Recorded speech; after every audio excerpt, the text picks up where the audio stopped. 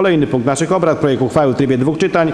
Wyrażenie zgody na przedłużenie terminów zagospodarowania nieruchomości położonej w Krakowie przy ulicy Odmętowej, będącej własnością miasta Kraków, miasta na prawach powiatu pozostającej w użytkowaniu wieczystym Małopolskiego Hospicjum dla dzieci z siedzibą w Krakowie. Projekt prezydenta miasta Krakowa, druk nr 1521, referuje pani dyrektor Marta Witkowicz.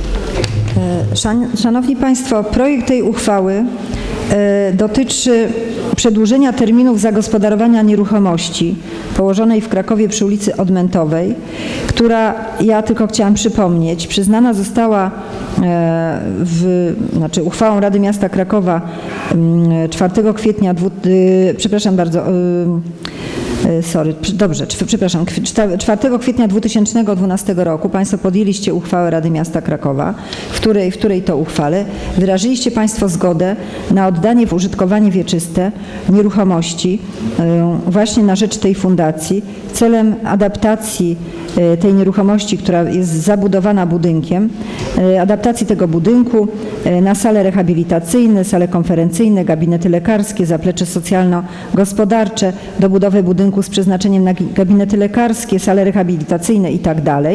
I wtedy również został ustalony termin rozpoczęcia i zakończenia zabudowy. Ten termin został ustalony na dzień 1 grudnia 2013 roku, a termin zakończenia zabudowy został ustalony na dzień 31 grudnia 2016 roku.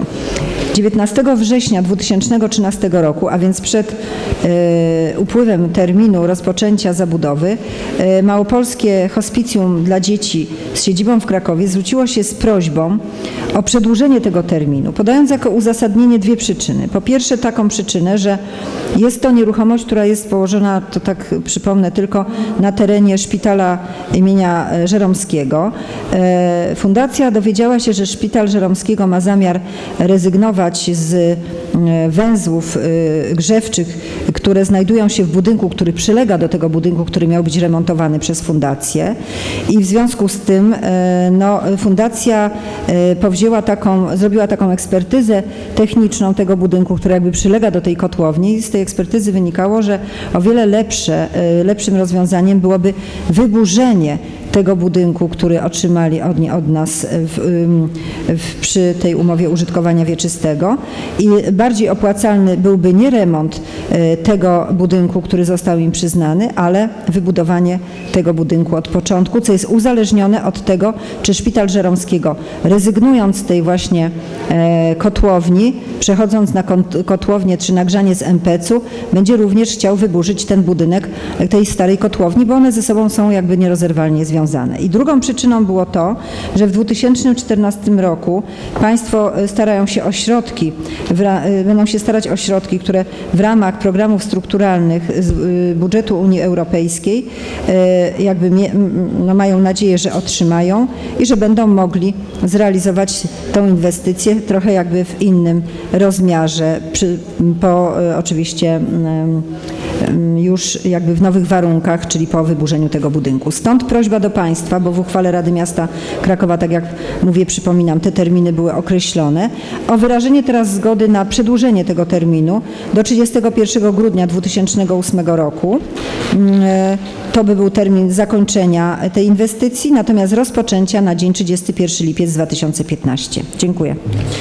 Dziękuję pani. Zakończenia. 18, nie, no 8 to już nie, bo już go nie ma. 31 grudnia 2018 roku zakończenie, a rozpoczęcie 31 lipca 2015, co zresztą jest zawarte w projekcie uchwały Rady Miasta Krakowa. Dziękuję. Dziękuję pani dyrektor. W tej sprawie pozytywną opinię wydała Komisja Mienia i Przedsiębiorczości jednogłośnie. Czy są stanowiska innych komisji? Nie widzę. Stanowiska klubu radnych nie widzę. Otwieram dyskusję. Kto z Państwa radnych chciałby w tym punkcie zabrać głos? Nie widzę, a zatem stwierdzam, że Rada odbyła pierwsze czytanie projektu i zgodnie z paragrafem 36 ust. 6 Statutu Miasta Krakowa określam termin prowadzenia autopoprawek na dzień 12 listopada 2013 godzina 15 i ostateczny termin złożenia poprawek na dzień 14 listopada godzina 15. I mamy jeszcze dwa punkty i będzie przerwa.